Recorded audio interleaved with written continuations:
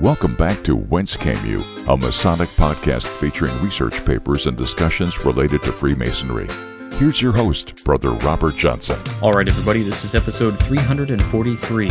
In the news this week, not much going on. I'm going to be at Manassas chapter this Thursday on the 10th. I'm going to be doing a presentation on the Word, uh, which is part two in the Quantum Lecture series. I'll be talking about the Tetragrammaton, and that's going to be again at Manassas chapter, Royal Arch Masons, number 81 in Manassas, Virginia. Essentially, the presentation is all about the lost word, string theory, mythology, uh, and I think it's really exciting. It's a fun presentation. I hope you guys will all come out to join us. We'll be going at about 6 or 7 o'clock, so if you're in the area, you're going to want to contact Manassas chapter or talk to worshipful brother and excellent high priest Joe Martinez. Also, I want to take a moment to plug my new book. Worshipful brother John Ruark and I co authored a book called It's Business Time Adapting a Corporate Path for Freemason. Again, adapting. We have it in print copy. You can get a copy for 15 bucks, or you can grab the Kindle version for $9.99. And you know, I've received some really interesting feedback on the book, and that includes people buying an entire set, not just for their upcoming line officers, but for their grand line officers, which I thought was pretty wild. But anyway, few books on the craft today offer any kind of logistical assistance on the operational lodge or its active officers. So this book aims to offer like a fresh look at the best practices that the world of business has spawned over the last hundred years and to take those same market disrupting techniques and adapt them for use at the lodge level. Just because Freemasonry isn't really inherently a business doesn't mean that we can't, as an organization, benefit from these industry proven best organizational practices. So, It's Business Time lays out those modern concepts and the relevance to Freemasonry in an easy to understand guide. And that's really what this is. Uh, the work explores and adapts each concept for use across the organization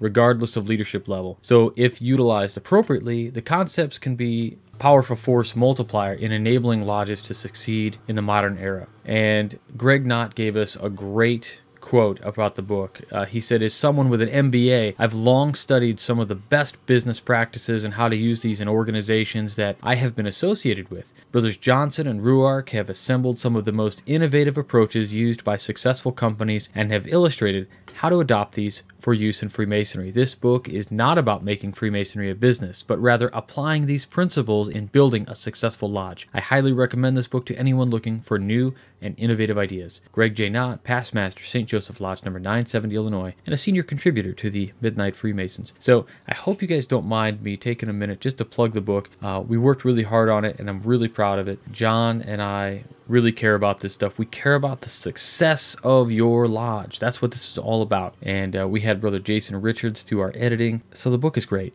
I hope you guys really enjoy it. Check it out. You can find it on my website, wcypodcast.com, or you can go to my author page, amazon.com slash author slash Robert H. Johnson, or you can just go to Amazon and type It's Business Time and then type the word Freemasonry, and it's the number one result. We were actually the number one book in several categories in different days. Uh, we were number one in nonprofit, we were number one in new business management, we were number one in new books for various days. It was really cool. So check it out. And I want to let everybody also know about a great opportunity that you're going to find out about in this week's episode. This week, I've got a great interview with brother Scott Hambrick of Intellectual Linear Progression. Now, he is a, a, brother Mason out of a TO Lodge out in Oklahoma, and he's put together something great, and it is regarding the Great Books program. So, if you want to jump the gun, head on over to WCYpodcast.com and hover over the support the show and drag down there to the Great Books program, and you can read a little bit about it before we get started. But check out this great interview that we've got with Brother Scott talking about the Fellowcraft degree and its lessons and how we should really be trying to apply these things.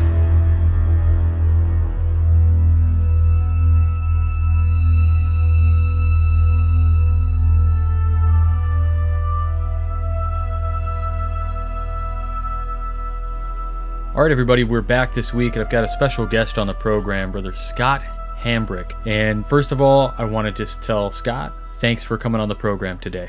Man, it's a delight. I love doing these shows, man. It was a really interesting thing that brought us together. Brother Scott has come together and he made a really neat program, and we'll talk about that in a little bit. But Scott, if you don't mind, can you give us your lodge and where you're from? Yeah, I'm in Tulsa, Oklahoma, and I'm a member of well, my, my home lodge is Owasso Lodge, number 545 in Owasso, Oklahoma, a little suburb outside of Tulsa. And I've been a member since, oh gosh, probably like 1999 after I got out of college and came back to the Tulsa area. I'm from the Tulsa area. I had to find a lodge, man, and so uh, I, I, ended up ended up at Owasso Lodge.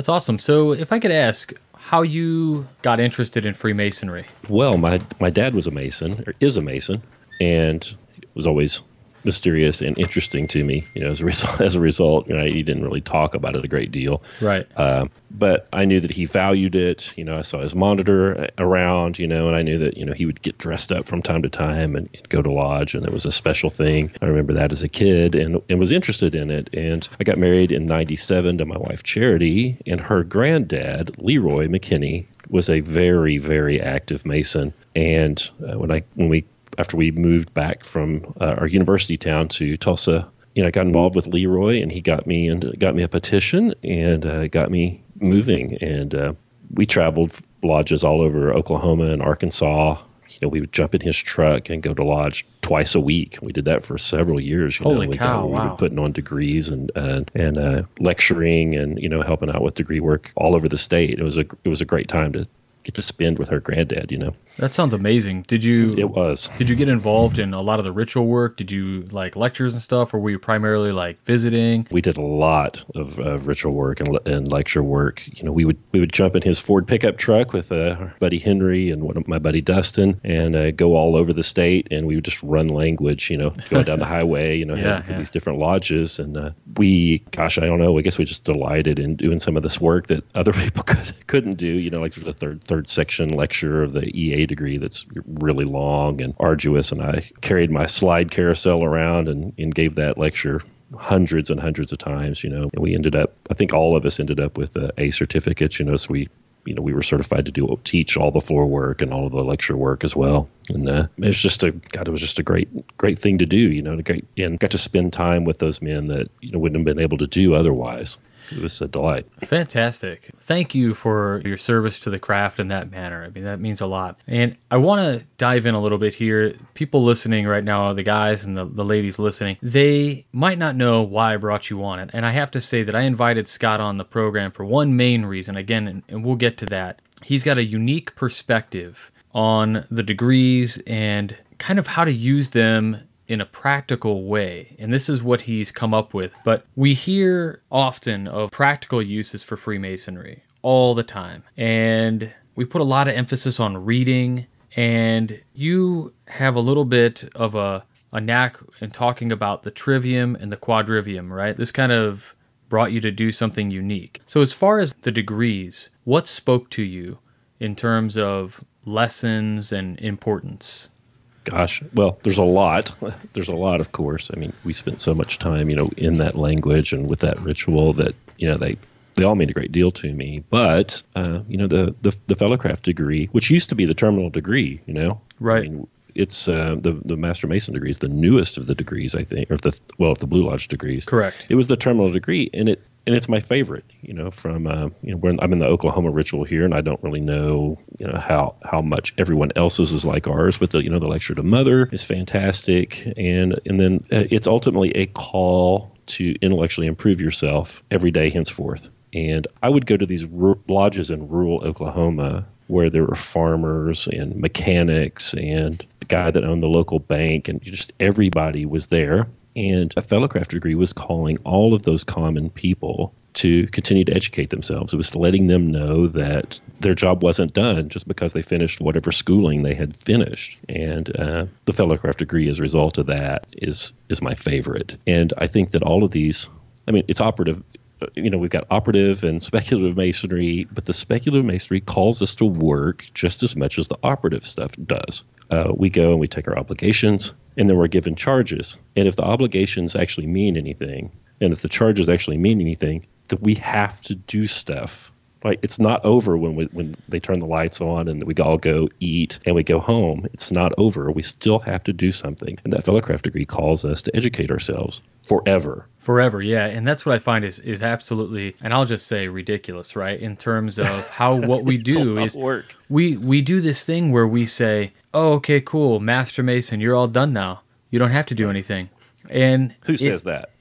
you know i mean this is this is the attitude though right like nobody ever nobody ever says okay so before you do this we need you know you have weekly assignments for yourself to do for the next you know three years to see how we're working on this stuff. Or nobody requires anybody to do like a research paper or read a book or whatever before the next degree. It's just memorize the work rote memorization and maybe you're not even internalizing anything. Maybe it's just memorization. You don't even know what you're talking about but yet that somehow qualifies us to move on to this next phase of masonic uh, enlightenment as it were. And i guess i want to ask in terms of this stuff like in the masonic mentality what is masonry teaching us today? Like what what's relevant in masonry today? Is it are there are there bits and pieces that you feel are more practical for today's use or more relevant today than ever before or not as relevant? What are your thoughts on that Well, the fellowcraft degree, I think, is more relevant now than perhaps maybe it's ever been. Well, maybe not relevant, but there's more information in it for us that we don't get anywhere else than ever before. You know, the talk about the the, the liberal arts that is in the the fellowcraft degree, that's not secret knowledge, right? The the liberal Right. arts or the trivium and the quadrivium, and prior to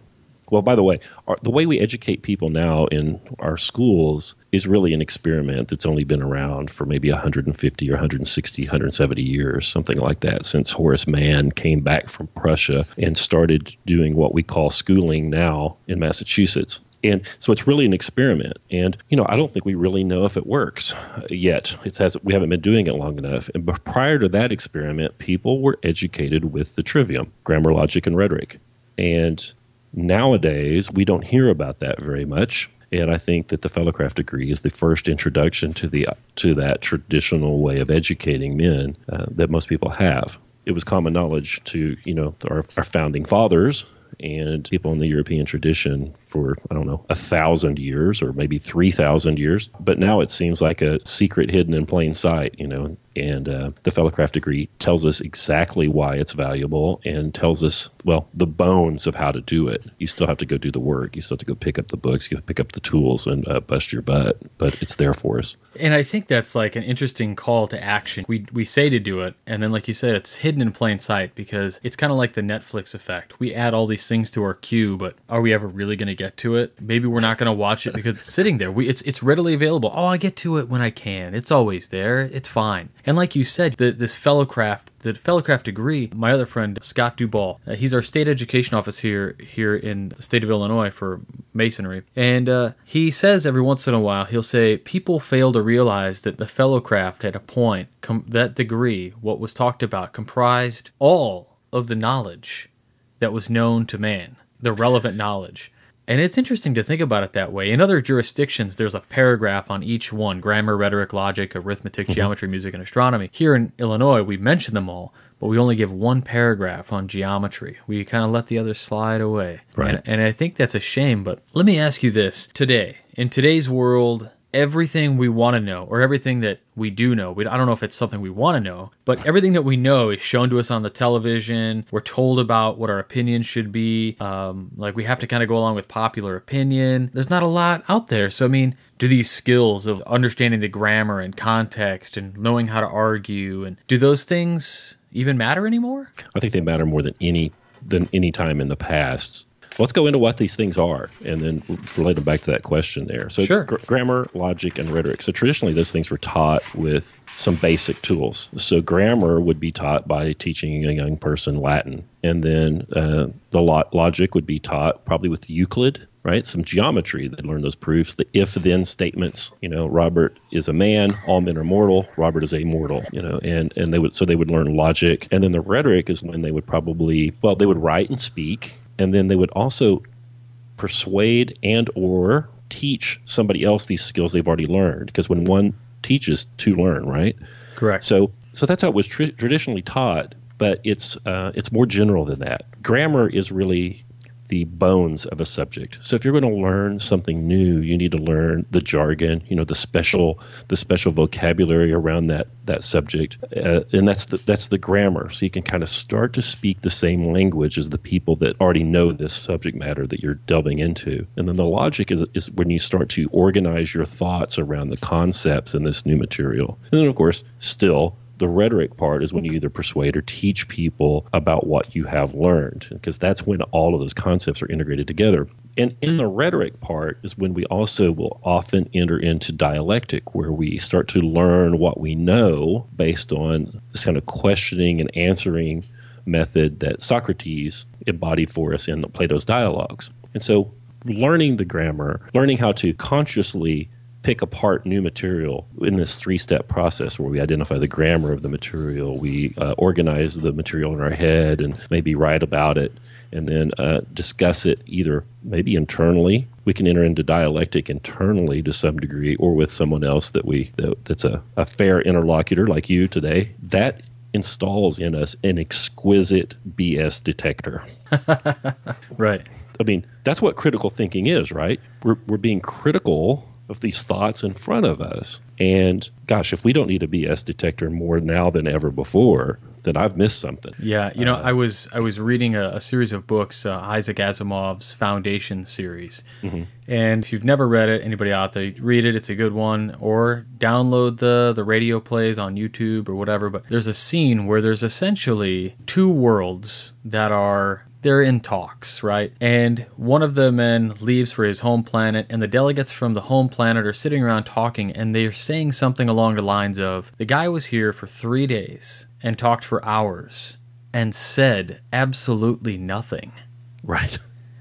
right. And if we watch, if we sit around today, we can watch politicians, we can watch celebrities, we can watch anybody who's in the public eye who certainly has a position of power stemming from maybe some. Uh, some money that's coming their way for something. And so they can never quite take a stance on anything. So they have to walk around everything with their words. And so they never actually make a statement. And we get a lot of writers that way too, especially in the Masonic world. Like people don't want to say what certain things mean, you know, for fear of like losing the dollar or whatever it's going to be. And I think it's interesting. You, you, you want to name some that. names? well, you know, I think those guys out there probably have a heavy conscience on it. They should know who they are. you know what? One, I think one of the worst things is I think some of these people don't know. I think they don't know who they. I mean, they they um, they don't organize their thoughts terribly well. They haven't you know internalized their and fully fleshed out their ideas about whatever it is they're talking about. But somehow they've gotten a public forum and they just run their mouth. But there are some people that are deliberately entering into sophistry, right? Right. And that's one of the things that we're taught when we work with the with the trivium is to identify sophistry. And that's what you're talking about. These people that that will get up in front of a microphone and put forth their talking points. They will write their blog post and give it the clickbait title. I mean, there's nothing more sophistical, maybe, than the clickbait title of a blog post, right? Sure. Yeah. I mean, it's it's it's it's you know the written word manipulated in such a way to elicit an emotional response from you and may and maybe not convey any meaning. Right. And uh, it's it's the ultimate manipulation. And, and so we, we see it today beware. in social media all the time. It might not even be necessarily words anymore because we're so drawn to sight and we're so I'm just going to say we're lazy in terms of reading anything, we have um, just sight cues. You'll never guess what this picture of this person did or whatever, and there's like half the picture there. It's like, oh, I gotta see what this is, and then we read it and it's nothing. It's really five in- secrets about ancient masonry. Yeah, I ran an experiment about two years ago, and I pulled some really interesting. I would call, I wouldn't say inflammatory. I don't want to be negative about it. I pulled some kind of shocking things that nobody had really written about publicly that are not secretive. They're you know straight out of the uh,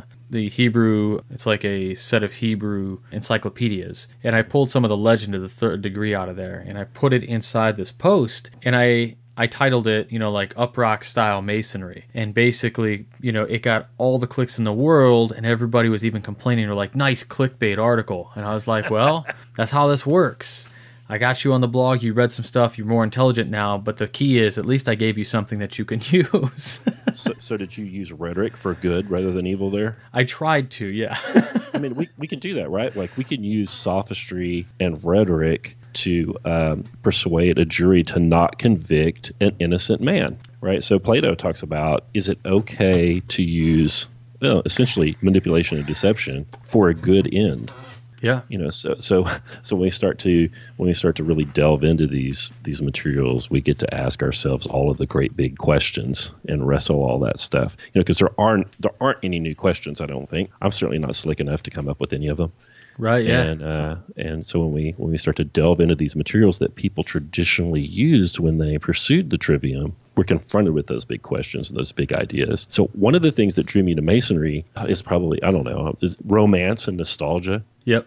Just romanticize and, and idolize Jefferson and you know so many of our you know our founding fathers, and then later on later on after I became a Mason, I got to go to you know Colonial Williamsburg and Alexandria Lodge, you know, and get to go see where these people, where these men were educated and, and go to see their libraries and, and became even more interested in this style of education because just, I want to be like them. Their achievements are just astounding. You look at what they what they did, and you think about their wealth of knowledge and a true Renaissance, a true Renaissance man. You know. Yeah, I think that that's one of the most important things about the Trivium. I think is that it creates. Well, the Trivium is really not. It's not about a particular subject matter, right? It's about learning how to learn. Right. So somebody that that owns the Trivium, like in their soul, can approach any new material, and then and then make it their own. And so, if you want to approach this sort of Renaissance man, this well-rounded intellect, I think this is the this is the traditional way it was done. What we do now is not really education. I mean, in most universities in most degree paths, and certainly in public schools, it's not really education. It's training. It's, it's very specific, skill-based training. In most cases, it's business training, and it, in it, and even then, it might not be very good for even business. But it doesn't it doesn't equip people to deal with new material that's coming at them. And I think that now it's even more important because we're creating new knowledge at a more rapid pace than ever before. I'm very interested in knowledge as a concept. Right, uh, we talk in the knowledge management business, which my main business is in we talk about the half life of knowledge, which is, you know, how long does it take for half of everything we know to either be proven wrong or to become irrelevant? Like the Earth's not flat, right? That ain't right. Well, so, wait a minute, wait a minute. There's all these guys. They're they're all over Scott. They say it's that it is. Well, that's for the next show. Okay. but but there are certain things, you know, like like the like the the four humors theory of, you know, we got phlegm and bile and you know this four humorous theories of biology is not not right you know we found that that's not true and then another another example of something that's kind of lived out its half-life is like it's not important to know how to drive a standard shift transmission anymore so that's not wrong but it's not relevant anymore Right. The half life of knowledge in 1965 was about eight, 15 to 18 years, is our best guess. Of course, this is hard to calculate. Now, we believe, us people that care and study this, believe that it's about 18 months. Wow. Yeah, yeah. I mean, you know, you think about programming languages, how they come and go. Like a lot of our knowledge would be, you know, using Lotus one two three, right? like we don't do that anymore, right? So the knowledge that, that we developed as a as a society around an obsolete software suite, well, that's no good anymore. So how, the trivium. How do you stay relevant? Well, there's another law, law that says that the older a piece of knowledge is, the more likely it will continue to be relevant. Ah. So, you know, if there's a book that's been around a thousand years and is still in print, it's likely to be in print another thousand years. I think it's Laffer's law. So, I think it's very important to be careful about what we learn so we don't spin our wheels. Like, I'm not real interested in learning HTML5 because HTML6 is coming. Right. But I am li- interested in learning how to learn because I think that's the biggest bang for my buck. And so, and the, and the Fellowcraft tells us to do that. It's not prescriptive about exactly what the things are that we should be learning it's t- it's telling us how to learn. So you're kind of like think hearing all this, it, it, really starts to make a lot of sense to me. You are an industrious Masonic bee, if I could call you that. Uh, and okay. this is where I, I want to transition into what you've done. So the listeners out there, you've heard me mention this on the program for the last couple weeks, and the more I learned about it, the more we had to get Scott on the program to talk a little about the importance of education especially talking about practical use of learning these things. But Scott, can you just tell us what you did? Because it's pretty astounding. Well, yeah. So I, I'm a I'm a member of a traditional observance lodge here in Tulsa as well, and we actually in this traditional observance lodge we actually are supposed to present a paper between each of the to, to move on to your next degree. So there is a there is a call in this TO lodge to engage with this work, right? To engage with the trivium essentially and to move the body of knowledge forward. And I actually wanted us to put together a study group and use like the Trivium binder. I think you and I had talked about that. We did, Or yeah. some other materials to actually pursue the darn thing. I mean, the fellowcraft degree tells us to. The Master of the Lodge gets in front of us and charges us to pursue it. So I wanted to create a group to do that. And as we know, sometimes it's hard to do new things in Freemasonry. I don't know if you where Uh, yeah, maybe a little. so I ended up doing it in my home. I ended up uh, hand, you know, writing real live letters and folding them up and putting them in envelopes and mailing them to seven men. And I invited seven men because I have eight chairs at my dining room table, and I was going to sit in one of them. And every one of them said yes. And they'd come to my house on the third Thursday of every month. And we have started working through the great books of the Western world as our vehicle for dealing with the trivium. And, uh, you know, we started with the Iliad and read the Odyssey and so on. And we're reading uh, St. Thomas Aquinas. Oh, by the way, this is awesome. This month we're reading St. Thomas Aquinas' essays on the four cardinal virtues temperance, fortitude, prudence, and justice. Hey, nice. Yeah, yeah, and uh, this these great ideas and these classic works and the trivium are interwoven in Freemasonry inextricably, inextricably. And anyway, we started that group in my home. Uh, the group has grown. We now have a, added people to the group. A few have fallen away, but I wanted to do it for some more people. A friend of mine uh, is Brett McKay, of Art of Manliness, fellow Freemason. Yeah, yeah. Yeah. He comes to my home group uh, and he said, Hey, Hambrick, you know, you need to do this online. And, uh, you know, he has a service uh, called Str- it's strenuouslife.co, uh, where he's trying to get, you know, men to actually take on these manly virtues in the meat world, in the real world, not just on his blog. Right. And um, he's like, you know, you should do something like that around the great books and the trivium. And I said, "Oh, Bradley, you know, I've, I've I don't need another job." And he said, "Oh, yeah, you do. yeah, you do." So we kicked it off January eighth. Uh, we kicked off intellectuallp.com or uh, onlinegreatbooks.com, and you can you go there. You pay fifty nine bucks a month. We ship the books directly to your house. We start you with uh, Mortimer Adler's How to Read a Book. More on that in a minute. And we send you email reading reminders, text message reading, remi- uh, reading reminders. We have check in tools and goal setting tools on our website because we find that the accountability is the thing that people want. You know, m- most of us want to be more well read. You know, we all have a stack of books we wish we had read. Yep. And so we help we help people create that habit of close reading and difficult material for three hours a week. So the the reading goals are centered around three hours of reading a week, and then once a month, uh, everyone attends a Socratic seminar that one of my one of my people hosts. So we have these trained hosts that play the part of Socrates. Right? Socrates was uh, well, I mean, we named the Socratic method after him, right? So Right. he's he's engaging all of our readers in dialectic and they discuss these books and that's where they get the rhetoric part of the trivium is in that seminar so uh, uh, you know we kicked it off on january 8th we signed up 100 people for a beta test and turned off enrollment and uh, kind of ironed some bugs out. And then we opened it up again on may 1st and uh, going to run enrollment until may 14th and then close that second flight down. We'll probably open another one on july 1st but uh, it's growing. It's growing. We've got gosh you know we got a hundred people have read the Iliad, uh, How to Read a Book, the Iliad, the Odyssey, and um, now we have read Prometheus Bound and the or the uh, Oresteia, the three plays by Aeschylus about Agamemnon's family. And Just I, I mean, it's amazing. Yeah, like to think that you got a hundred people to read that willingly is.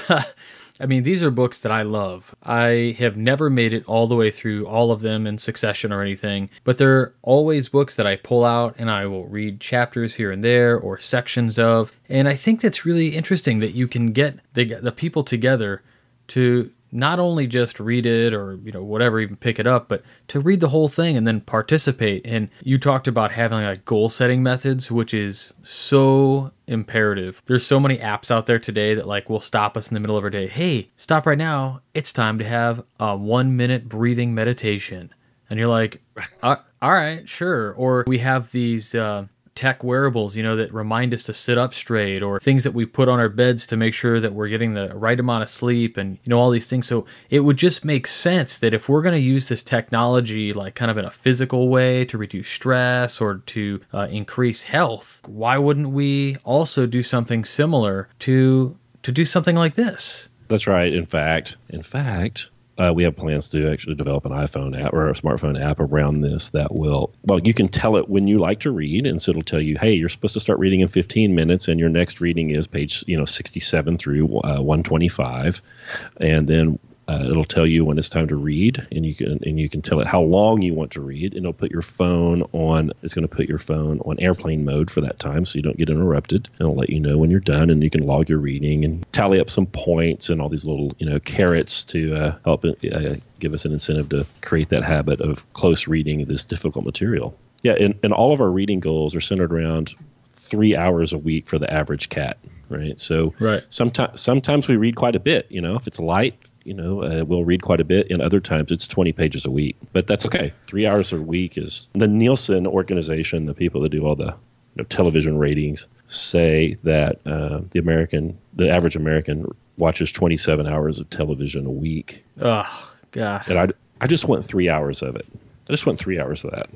Yeah, right. And and that is it so much to to ask, right? Not not that we're forcing I do this all the time. I have people out there who will say, "RJ, what Masonic book should I read next?" And I'm like, "Your monitor?" Yeah, try that one first. you know, here's the deal. In Illinois, after each degree they get the candidates or you know the degree after the degree they'll get a book. It's only like 20 pages. It's got history, some symbolism, your new rights as a fellow craft or your new rights as a master mason, these kind of things. And every candidate is supposed to get these things, and they do, but nobody reads them. Right. And and it just it kills me. It rips my heart out going, you wanted this so bad that you were willing to just flip all the way to the back of the book and memorize the stuff, but you don't want it bad enough to know what you're talking about or what you're memorizing. And I think that's interesting that we have this this dynamic of 26 27 hours a week. I think I probably watch uh, if I'm being realistic, probably five to six hours of TV a week, and that's because I'm laying in my like I go lay down, I turn on my TV, I watch one episode or two episodes of something, and then I fall asleep. It doesn't interfere with the rest of my day because I'm doing things, reading books, or I'm, and I just wish more people would find that value. And I like that. I have to say, when you said that it turns your phone off or it goes to airplane mode, some people would be like, oh, that's interfering with me and my life or whatever. But here's my thing. When the last iPhone update came out, right, and I start driving my car and it's, you're not going to receive notifications because you're driving. Oh, come on. Then I thought about it and I said, yeah, I text and drive way too much. That's probably right. a good idea. Get away, pull yourself away from something. And if people understand that this is a focus not just on a program or reading, it's for you. It's beneficial for you. Yeah, that's the thing. It's beneficial for you. Well, first, I want to I want to clarify our iPhone apps in development. If you sign up right now, you won't get it, but it's coming. It's coming. But yeah, no, we're doing this for you. Like in five years, you're definitely going to be five years older if you're lucky, right? if, right. If you don't, if you don't get in a car wreck, a car wreck because you were texting, but you're going to be five years older. Now, are you going to have at five years from now? You're going to say, "Man, I binge watched Game of Thrones and this one and that one and whatever," or the time's going to pass, and you could have spent that on 7,000 pages of the greatest books that the world has ever created. You know, people will binge watch whatever show, and then there's always, there's actually, for us conscientious people, there's always some regret in that, you know? Mm-hmm. There, there always is. Like, I've watched all The Sopranos years ago, and while it's a pretty good show, you know, I could have done something better with that time. But I don't know anybody that has a single regret I've never met anybody that read Aristotle and said, "Gosh, that was a waste of time," or maybe I could have done something better with my time. Yeah, I have never heard that. Me neither. And so the time's going to pass. Three hours a week will get you through that. Yeah. The time will pass, and you will be older if you're lucky. So what are you going to do with it? Uh, social media usage is about two hours a day for the average person. If you are a gamer, you're spending an hour and a half or hour and 45 minutes a day on that stuff. And uh, uh, gosh, you know, we just want 30 minutes a day. And it's, it's- not a big deal. It really isn't. And I think it sounds amazing. So, Scott, we talked about time, right? That's one thing. If we can get people past the time to, it takes to read or whatever, Plato, Aristotle, these are not, are these books that are accessible to, as you said, you know, your average Joe spends three hours a week reading. Are these accessible to them intellectually? Yeah, they are. They are called in some circles, you know, the great books of the Western world, the great books, right? And they're great because they have so many layers and that they are so accessible. I think, for example, the Iliad, I tell people this all the time that, you know, if you're a 14 year old kid and you read the Iliad, you're not going to get from it what a 70 year old man would get. But it's one of the most excellent action adventures ever written. So if you're a 14 year old kid, you're going to read the finest action adventure novel ever written. But if you're a 70 year old, you're going to see questions about mortality, the role of man and the state, uh, adultery, fidelity, duty, honor, violence, the concept of the just war, right? So no matter who you are, these books can meet you where you are. They're a lot like the degrees in that respect, right? Like every time we see a degree, we get something different and more from it. And these books are the same way. So the entered apprentice takes away a very deep and interesting experience that first time they go through that blindfolded and they're overwhelmed. It's too much and they'd almost drown in it, but they benefit, right? And Yeah. then every time we every time we take take that in again, we learn more and we get more from it. And these books are the exact same way. They're just astounding. They're just infinitely uh, discussable. And and the, and then the other thing is is these these books were so good and so important that they passed through the filter of manual labor. Like most of these are before the Gutenberg press, you know, and somebody had to kill a hundred sheep and skin them and make parchment, and then copy those things by hand Right. so so it had to be good enough for you to spend 190 hours or so. I mean, I mean, I don't, I don't know, hundreds of hours to copy that book so your grandkid could have it. Yeah, and in and- some and in some cases, these books would get you killed, and they would hide them under penalty of death so their grandkids could have it, and ultimately so you could have it. And if you don't pick it up, you've betrayed those people. It's an interesting way to put it. And, you know, it's the respect of the, the thoughts of the authors and the people who have protected the works for hundreds and hundreds of years, in cases of thousands. Our Masonic tradition is the same way, right? Like there were times when it was not healthy Right. to be a Mason in certain places, right? And when we pass that that tradition down, and these books are the same way. If you don't pick it up, I mean, you, you're breaking the thread, right? And and one of the reasons I started this project is because I'm desperately afraid that we're one EMP, we're one electromagnetic pulse away from losing civilization. You know, It doesn't take much, man. If you do the research Nope. on what that is, I mean, it's kind of scary to think about how little it would take. Yep, it's it's it's awful. And so, you know, when we read Plato at uh, onlinegreatbooks.com, I send everybody the Hackett hardback edition, you know, complete Plato, and it's fifty four bucks. Well, I only charge fifty nine dollars a month. I, I lose my butt that month, you know. Right. But I want. I'm like the Gideons. I want every house in America to have an acid free copy of the complete works of Plato Yeah, that's pretty incredible. It's pretty awesome. we get, we've got to keep the lights on. I'm worried about it.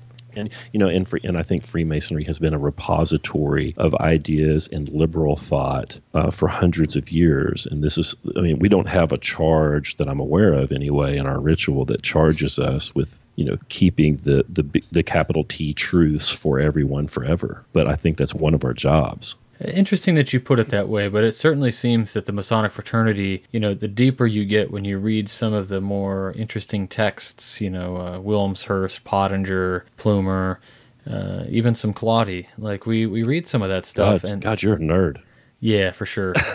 uh, so we read those texts, and there are really interesting underlying themes that alluding, I mean, in some cases, uh, Pottinger and, and Wilmshurst will allude to truths, whereas Plumer just comes right out and says things, and it might be a little bit inflammatory to us if we're in the opposite mindset. But I mean, these books are to sit down and to read them and pull like these truths, these these you know, we used to talk about prima facie and, and absolute truths, but to pull out these mm. things that are seemingly absolute to the human mind, I mean, we'll never really know because we're flawed humans, but these are these are words and ideas that have passed through thousands of years. You know, when I think of when I think of Freemasonry, one of the one of the images that comes to me is that it's this child of the Enlightenment, you know, and that that the, the liberal man was really born of Freemasonry. I think we have a lot to do with. I think Freemasonry has a lot to do with the, the, the rise of liberal democracy and republicanism, right? And and all of that, all of that is born of of these books. And I love the books. The sense of connectedness that I get with um, the people that came before us is um, is so gratifying to me. You know, my grandparents are all gone, and and the men that brought me up in masonry, they're all gone. You know, and uh, I, you know, I, I get that connection. I get that connection to our past and the people that have got me where I am nowadays to a great degree through these books. Because darn it, you know, I'm starting to turn into I'm starting to be one of those older guys. right. Yeah. As, as we get older, you, you talked about we, we sit down and we'll read a book at one stage in our life and we read it again later and it means something completely different. And yeah.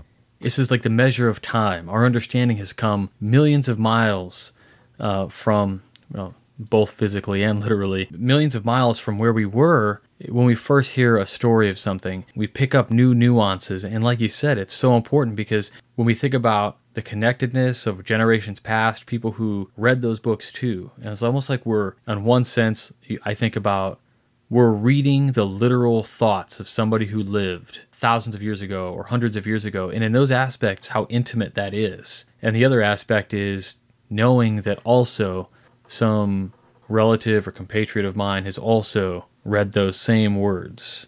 The immortal Washington we talk about. He he wasn't as well read as, as Jefferson, you know, um, but but you know these these guys these guys spent time with these books, you know, and, and uh, I want to be like them. So it's I got to go spend time with them too. Darn it! But I hope everybody, I hope everybody listening takes this up. You don't have to do it with me at onlinegreatbooks.com. There is a uh, there's a Great Books Foundation you can go get that book, How to Read a Book, uh, and it tells you how to how to do close reading of this difficult material. It has a fantastic reading list in the back of it that's very similar to the one we use. Ours is mostly stolen from them. And start a group in your lodge or start a group in your home. You know what I'm doing is weak compared to an in-person uh, in-person group. uh, there's something about sitting around a round table and facing these other people and engaging in dialectic that's uh, that's that can't be replicated, you know, with uh, an online meeting like we do. I think that's uh, so awesome that, that you're doing this. And I want to ask so,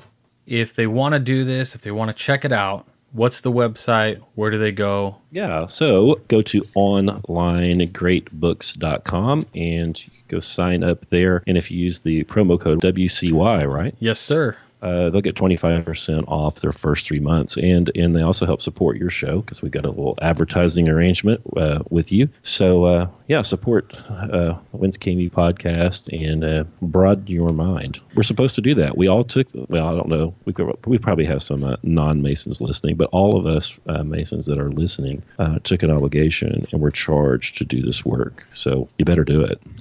Absolutely. I couldn't agree more. So there you have it, everybody. Like I said, I've been pushing this for last last couple weeks, I do want to let everybody know who's listening. At the time I'm recording this, there are 12 days and four hours left. Mm. Of enrollment. So when this show goes live on Sunday, we're going to be at like eight or nine days left. Yeah. So I want everybody out there to at least head on over there, check out. There's a video Scott's got up on the website, and also uh, at the top of their website, we'll put a link in the show notes to all this. But he's got a uh, a new podcast, Intellectual Linear Progression Talks, and they talk about yeah. Homer's Iliad, and it's I think about 35, almost 40 minutes or so episode, uh, but it's really good. It's riveting. It's cool stuff, man. like if you if you really value your mind and thinking and thought and you you think you're cognitive of a person i think you owe it to yourself to at least check out the podcast check out the website and, and like scott said even if you don't do this program pick up those books and check some stuff out. So uh, scott i, I want to thank you so much for spending some time. I know you're a super busy guy and uh, it's not always easy to find time in the evenings when we have kids and family to uh, come on a show and talk about some nerdy stuff So Hey, I, I want to love thank. it. It's a delight. Hey, thanks, thank you for doing this podcast. You know, we've got to find a way to keep the light on, right? To keep to keep the thread from being broken, and this podcast is a is a big part of that. You know, we uh, in a lot of in a lot of places these lod- lodges are frankly they're getting weaker, right? The conversation that we used to have, at the, you know, after and before lodge is uh, is waning, and uh, you're keeping that conversation alive here. So that is that is fantastic, and thanks for thanks for sweating and bleeding on it and get making it happen. Hey, you too, man. We got to put it to work in the quarry. So thank you very deal. much. Thanks.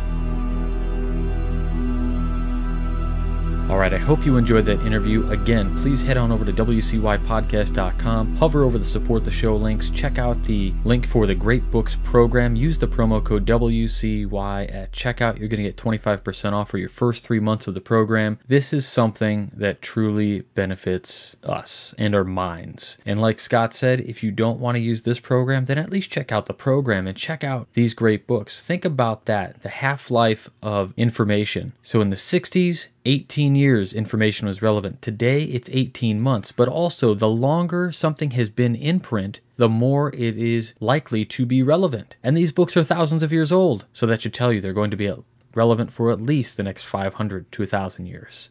Check them out.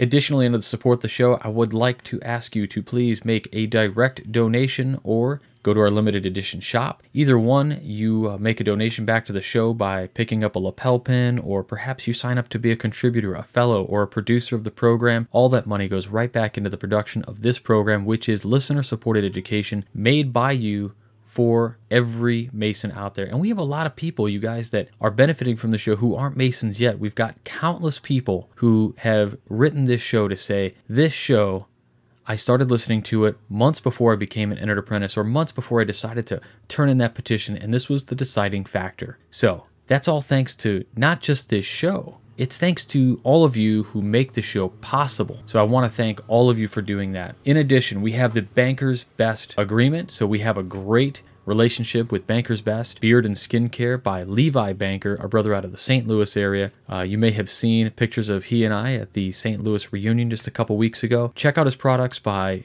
heading on over to buybankersbest.com and you can check out that stuff there. Use the promo code BBWCY357 at checkout and you'll get a really good percentage off there. Uh, but if you go to our website and click through the links, uh, we've got some exclusive uh, arrangements there. So check that out as well. And last but not least, we have Onnit Labs. So we finally got our promo code back. For whatever reason, they took it off for a little while. But now if you go to support the show, get on it, click through our links to Alpha Brain or Hemp Force Protein or anything like that, and you'll actually get 10% off your order by using our promo code. And a little bit of that money that you spent comes right back to the show. It doesn't cost you a penny more than if you went direct to them, but uh, they help out the show a little bit of a kickback there later on. Thanks to everybody who goes out of the way to support this program. I really hope you enjoy. We'll talk to you all next week where I've got a great interview with Frater O and George R. Adams, past Grandmaster and 33rd degree of the Scottish Rite, talking about truth. George R. Adams. George blows me away, blows Frater away when we talk about the concept of truth, what it is, and how it's applied today. So that's it for this week. Thanks again for listening. And uh, please check out the new book. It's Business Time on Amazon. It's on our website, WCYpodcast.com. I'll talk to you guys all next week. Until then, stay on the level. For Whence Came You, I'm Robert Johnson.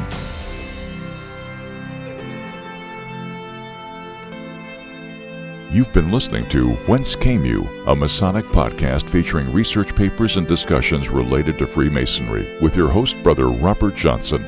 Be sure to join us for our next edition.